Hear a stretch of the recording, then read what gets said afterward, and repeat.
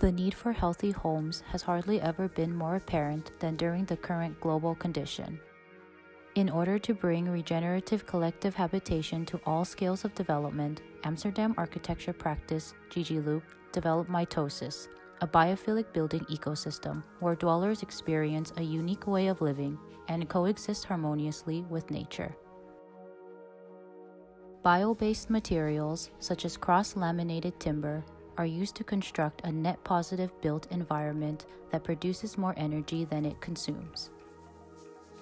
Mitosis is designed to co evolve with its surrounding as biodiversity is restored by recreating ecosystems appropriate to the climate, site, and residents. Elements of nature and renewable resources are applied in shared community facilities and flexible outdoor spaces, fostering well being and encouraging pro environmental practices among dwellers. A parametric design tool has been developed in order to generate an optimized volume and scale of mitosis based on the specific conditions on the given site, such as solar radiation, privacy, population density, common spaces index, and vertical connections. Therefore, mitosis is applicable to diverse urban scales and can host a variety of typologies that are customizable to the resident's needs.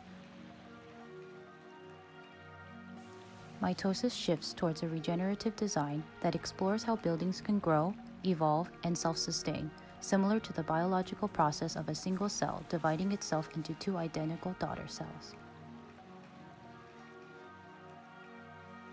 The goal is to develop an architectural solution that gives back to the planet and to raise awareness regarding the importance of biophilic architecture and its net positive impact on the environment and society.